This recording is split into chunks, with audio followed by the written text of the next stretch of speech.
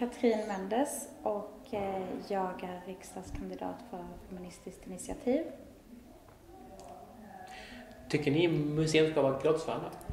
Absolut. För oss så är ju kulturen en del av livet, av att vara människa. Det är inte avskärmat från andra områden utan en del av ens liv och eh, självklart så ska, ska det vara gratis att få lov att ta, ta del av vad som händer. Vem tycker du du ska bestämma över museernas innehåll och utseende? Människor, människorna själva. Jag eh, tänker att vi behöver skapa ett samhälle. Anledningen till att museiintäkt, alltså inträdena ska vara gratis, det är ju för att öka delaktigheten hos medborgarna. Jag tycker också medborgarna i mycket större utsträckning ska få lov att vara, ha inflytande över innehåll, att det inte ska finnas någon kulturelit eller finkultur, utan det ska vara kultur är, är till åt alla. Vem tycker du ska, ska betala för museerna i framtiden? Ja, eh, staten det är ju en del av vårt liv.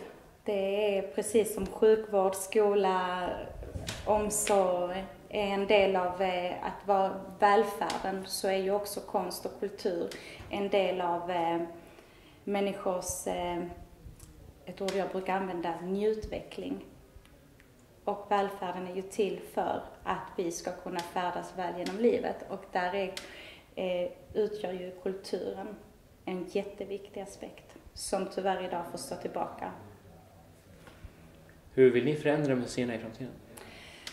Förändra? Jag tänker att samhället är dynamiskt och det är så svårt att, alltså jag tycker inte att man ska gå in och börja reglera i saker och ting utan att det får vara en del av en naturlig process, så här, evolution. Och, eh, och ju mer människor är delaktiga i utformandet och jag tror att vi kommer få se mycket mer av det eh, eftersom vi har eh, människor idag mycket mer delaktiga och vi kan ju se det i, i webbcommunities och så. Och det här tar, kommer ju också ta sig uttryck i de fysiska rummen, såsom museer och så här till exempel. Så att jag vet inte om jag uppfattar frågan korrekt, men eh, jag ser det som en process som får som är under hela tiden så här omkonstruktion och rekonstruerar och återskapar sig själv och ja. Tycker du vi ska ha kvar museer i, i, i framtiden överhuvudtaget?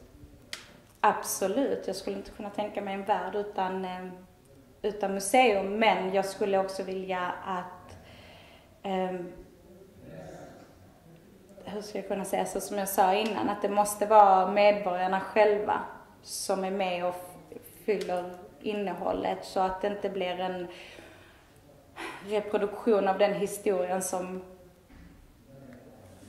makthavare tycker att vi faktiskt ska få lov att lära oss och det måste vara mycket mer inkluderande. Så att det är klart att jag vill att eh, museer ska vara kvar men jag vill att det ska representera befolkningen i mycket större utsträckning än vad det gör idag. Hur vill du att museerna ser ut i framtiden om 10-20 år ungefär? Om 10-20 år? Som sagt mer dynamiska och eh, med större medborgarinflytande och eh, mer inkluderande där fler verkligheter är återgivna. Inte bara, för att det är ju tyvärr så att det blir ju väldigt, eh, vad ska man kunna säga, enformigt för att inte säga homogent. Alltså, och, ja, mångfalden måste kom, uttryckas på ett naturligt sätt och det, och det kan vi bara uppnå om vi får till eh, aktiva medborgare.